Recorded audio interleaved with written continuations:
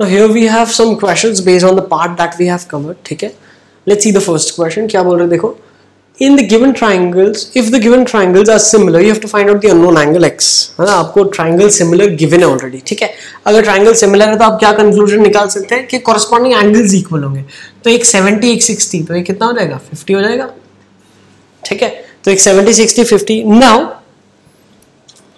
angles will be equal. I know that. The angles will be equal. Now, angles will be equal in which order? तो मुझे पहले correspondence निकालना पड़ेगा। Correspondence में कैसे निकालूँगा? मुझे ये पता है कि रेशियो हमेशा इक्वल होता है। तो आप देख लो किस किस का रेशियो इक्वल है। अगर आप सेवन आइडेंटिफाई कर सकते हैं, ये फोर्टीन है। तो मुझे पता है Q R by X Y का रेशियो हाफ़ है। और किस किस का हाफ़ है? देखो, इसका 8.4 है, इसका 4.2 है। तो आप बोल सकते हैं that is nothing but P Q by Y Z लिख लो, ठीक है? जेड वाई लिखेंगे Y Z same thing next three root three six root three तो आप लिख सकते हैं that is P R by X Z तो ये भी रेशियो हाफ़ है, ठीक है?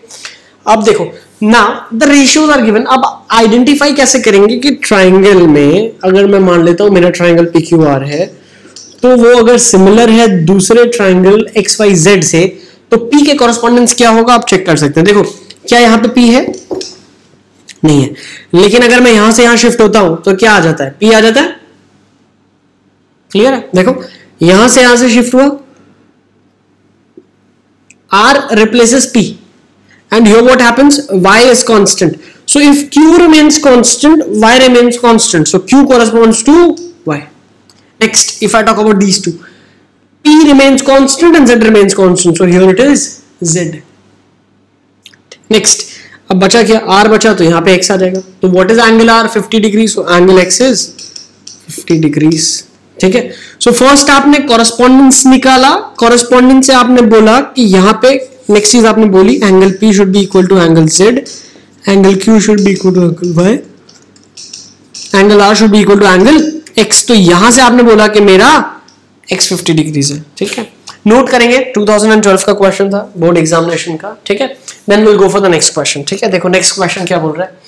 Are to triangle with equal corresponding size always similar so now I tell you C if corresponding size are equal if corresponding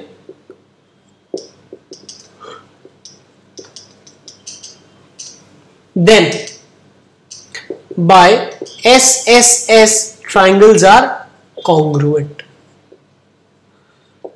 ठीक है। तो पहली चीज़ क्लियर है, अगर साइड्स इक्वल है तो ट्राइंगल्स क्या हो जाएँगे? कॉन्ग्रुएंट हो जाएँगे। ठीक है? ना अगर आपके पास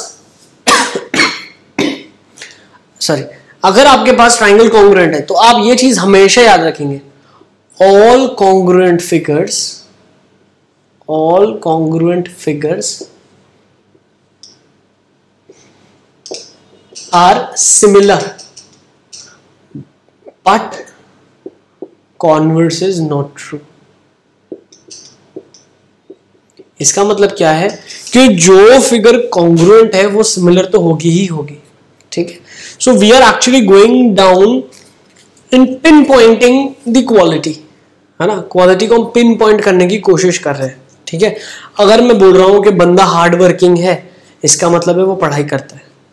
इट रिलेट लाइक दैट तो मैं अगर बोलता हूँ ही स्टडीज़ ठीक है? सो ही स्टडीज़ तो अगर उसमें स्पेशली हम चेक करेंगे जाके तो हम ये चेक करेंगे कि वो 20 घंटे पढ़ता है, या 18 घंटे पढ़ता है।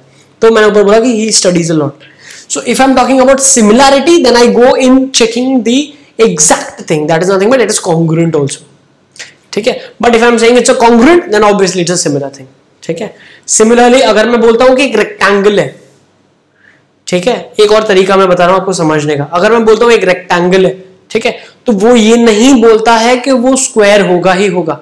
लेकिन अगर मैं बोलता हूँ कि it's a square so if it is a square then it is obviously understood that it had been a rectangle with equal sides so I am concluding it being a square so similarly I can say that if it is congruent then for sure it is similar my friend okay but if it is similar I can not say that it is congruent ठीक है?